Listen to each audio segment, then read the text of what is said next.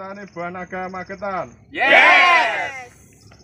Asosiasi Buah Naga Kusuma. Yes. Luar biasa. dari beliau Allahumma amin Eh, selanjutnya selamat datang Pak Muslik dari Dinas TPHPKP Kabupaten Magetan atau Dinas Pertanian Eh, Ibu Wedang PPL dari Kecamatan Kawadanan dan Pak Widarto dari PPL Tidak juga terima kasih atas kehadirannya untuk memberikan mungkin nanti saran dan eh, pesannya kepada kami yang baru merintis ini baru merintis Asosiasi Petani Buah Naga. E, bisa kami laporkan bahwa kita dibentuk tahun 2019 sebenarnya Pak, sudah lama. Mungkin baru embrio ya, belum belum bisa dikatakan secara legal formal asosiasi, tapi baru embrio. Dan alhamdulillah untuk bisa laporkan e, di sini kami sudah melakukan beberapa kegiatan antara lain dulu tahun 2019 kita pernah melaporkan ke zaman Pak Edi ya. Pak Edi Susino ya kepala dinasnya. Kita mulai merintis itu baru beberapa lahan gitu ya baru pertama awalnya. Terus kemudian Pak Ian yang sebagai perintis beliaunya yang di sana itu yang baju itu adalah ma maestronya. Kita belajarnya kepada beliau. Karena beliau ini aslinya orang Banyuwangi ya Pak jadi secara ilmu maupun eh, secara eh, pengalaman beliau ini bisa jadi rujukan. Jadi kita nanti nggak usah jauh-jauh ke sana sudah ada. Kemudian zaman Pak Edi, kemudian kita ke zaman sekarang ke Bu Ana, Selaku Hasanah kita juga laporkan, terus kita tanya bagaimana kalau kita bentuk asosiasi Bu, biar nanti ke depan perkembangan buah naga di Magetan ini bukan cuma satu desa tapi beberapa kecamatan yang ada. Kemudian eh, yang prestasi lah saya bilang prestasi bahwa teman-teman ini sudah bisa mem, apa ya, memproduksi buah naga dengan grade A yang kemarin itu ada yang sampai satu setengah satu setengah kilo itu ada fotonya juga dan ternyata teman-teman bisa gitu. makanya dari semangat teman-teman ini kita berusaha untuk menggabungkannya terus kami laporkan juga kami juga pernah mempromosikan eh, hasil kami hasil kami itu di Lembian Sari Market ISL dulu di ISL sebelum COVID kan. jadi COVID juga ada pameran gitu kan. Eh, itu Bapak Bupati juga pernah melihat dan merasakan. Dan beliau pernah membeli juga. Jadi alhamdulillah jadi kita direspon sangat baik. Jadi mungkin ke depan mungkin kita minta bimbingan dari dinas terkait bagaimana kita mengembangkannya sebagai anggota untuk sementara ini eh, ada beberapa kecamatan yang sudah hadir yaitu dari kecamatan Kawajanan sendiri. Ini ada beberapa desa dari kalau dari kecamatan Barat ada Mbak Aris beliau kepala desa Rejo Mulyo Barat. Kemudian ada Pak Danang dari desa Kuanajo Takeran jadi kita sudah lintas kecamatan. Kemudian yang terbaru ini dari Panean Mas Mohablu yang memilih pemancingan dua bintang tapi sekarang masih OTW eh, ragunya mohon maaf dan waktu dan tempat kan nanti kan Mas Pak Muslik memberikan caranya biar teman-teman bisa lebih semangat lagi untuk menanam buah naga. warahmatullahi wabarakatuh. Yang terhormat Bapak Kepala Desa Dirjo atau yang mewakili, nah bagus. Yang kami hormati eh, Kepala Dinas DPAPKP Kabupaten Magetan atau yang mewakili, eh, yang yang kami hormati penyuluh pendamping beserta seluruh anggota asosiasi yang kami banggakan.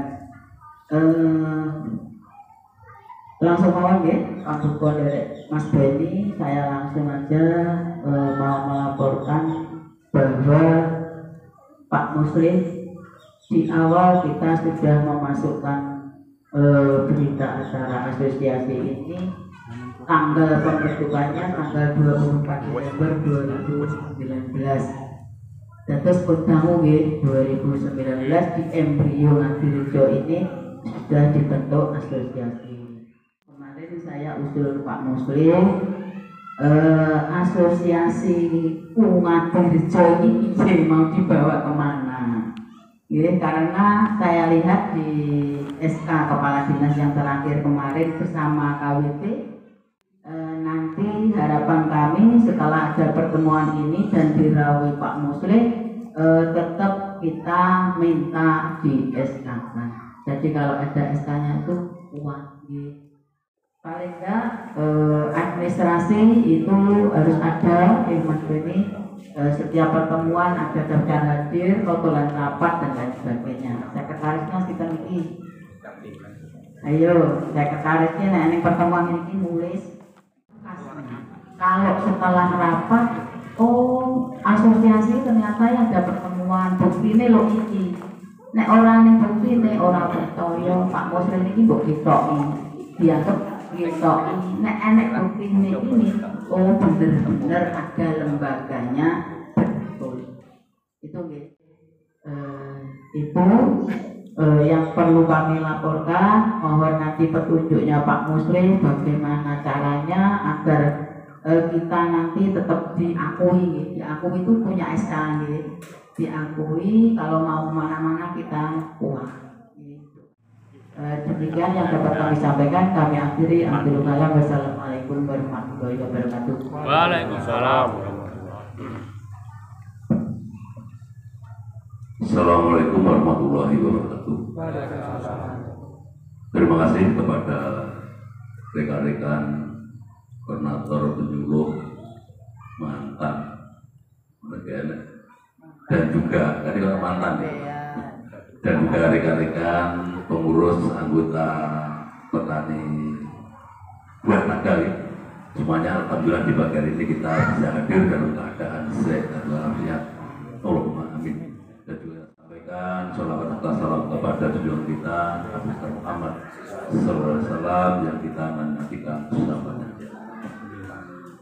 Memang betul beberapa hari yang lalu Mbak Indah, koordinator BWB Kawadanan menyampaikan kepada saya, terus saya bilang, guys pokoknya ada pertemuan ini kapan aku tak teko, saya bilang seperti itu. Jadi ini sifatnya hanya diskusi aja, Pak. Belum pembinaan tapi diskusi.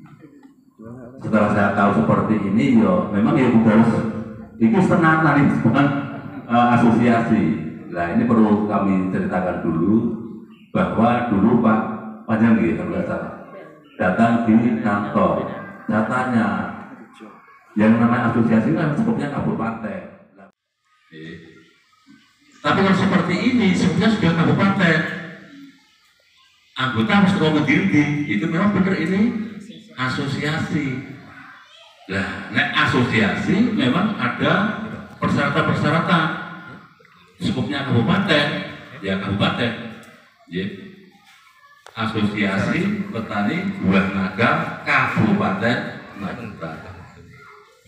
Orang angel, sing penting lembaga ini betul-betul. Dan sing bener-bener orang di tenani itu bingung lihat rapat seperti ini menyusun struktur organisasi ketua sekretaris bendahara ada berita acara adik-adik no problem. Monggo.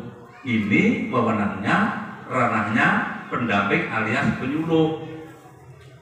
Lah yang tujuannya anggaran tujuan apa nih proposal ditarik lagi.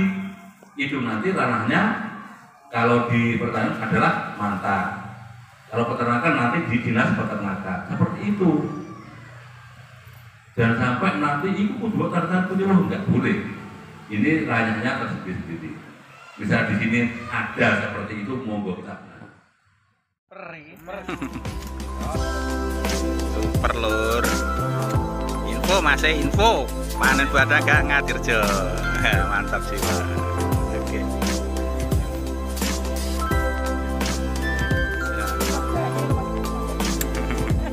Oke, siap. Mantap sih, Pak. Gimana Pak Muslih? Wah, Pak siap. Eh, testimoni terhadap eh, buah naga yang ada di Kabupaten Magetan ini yang kita pata, oh, yang kita tanam. Ini kita panen di Desa Ngadirjo, ya.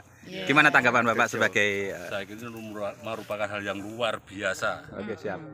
Tidak mengira bahwa ini bisa cukup besar-besar. tumbuh di sini. Yang saya tahu di pasar itu masih yang kecil-kecil. Nggih. Mungkin ini masuk grade A ini. Betul. Ekspor, Pak. Mudah-mudahan ke depannya nanti lebih bagus lagi. Amin. Dan adanya asosiasi harus lebih, lebih maju, lagi. maju. Amin, siap. Tidak hanya dijual buah, tapi nanti bisa Olahan produk hasil. lain, produk olahan, Oke, siap. baik untuk sirup maupun untuk fermentasi, Fermentasi. Oke, siap. untuk obat. Oke. Ya untuk lanjutnya nanti kita bisa studi banding Ya. yang sudah ada di Jawa Tengah atau yang naga penting kita bisa menjaga harga. Siap. Jangan sampai terjadi eh, overload tetapi harganya hancur. Itu jangan sampai. Terima kasih. Terima kasih Pak supportnya Pak. Ya, siap. Betul pertama, kedua nih.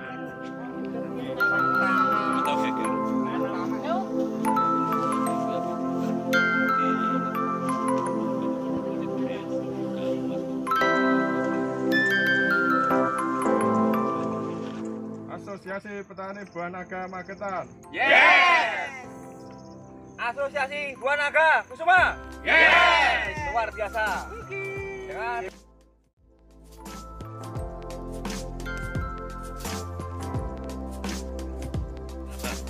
Selain agak anu ya, agak asam-asam sedikit. Ah, Betul. iya Oke. iya. Oke. Gimana Pak rasanya Pak? Ini yang produk asli dari Magetan. Yang saya tahu, yang saya pernah rasakan, Oke. ini ada kelebihannya. Hmm. Agak ada asamnya sedikit. Asam, seger gitu ya. Nah, seger. Kalau manis tok itu saya kira malah iya, terutama bagi ibu-ibu hamil. Artinya apa? Vitamin C-nya juga Tinggi. tinggi. Ya, vitamin C. Ya, sip.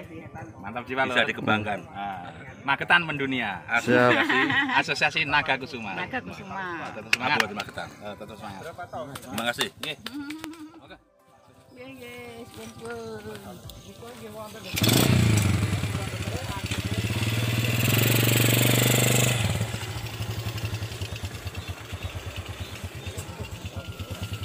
Oke Lur, itu tadi perjalanan kita bersama teman-teman dari Asosiasi Petani Buah Naga, Naga Kusuma Magetan. Ini ada teman dari Panean, ada teman dari Barat. Nah, kita ada di kebun, ya.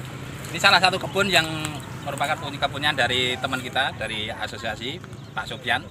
Ini lokasinya tepatnya di Desa Ngadirjo, Kecamatan Kabupaten Kabupaten Magetan. Tapi bukan cuma di Ngadirjo ya, Eh, ada yang dari Panean, ada yang di dari Ngariboyo, ada yang dari Karas, ada yang dari Barat. Semuanya sudah melingkupi eh, di Kabupaten Magetan. Ini salah satu contohnya. Ini grade super lor. Ini kalau orang Rekor terbesar itu berapa kilo pak? paling besar kemarin satu setengah. Pernah satu setengah. Tapi rata-rata teman-teman itu grade A itu sekitar 8 on ke atas. Itu. Dan itu sudah sudah biasa dalam arti kita sudah bisa memproduksi sudah kontinu ini contohnya ini. Sebenarnya sudah nggak musim ini tapi dengan teknologi lampu ini sudah mulai berbunga lagi. Tetap semangat tetap hidup tetap berkarya. Eh, asosiasi Naga Kusuma Magetan. Nah, mantap sih pak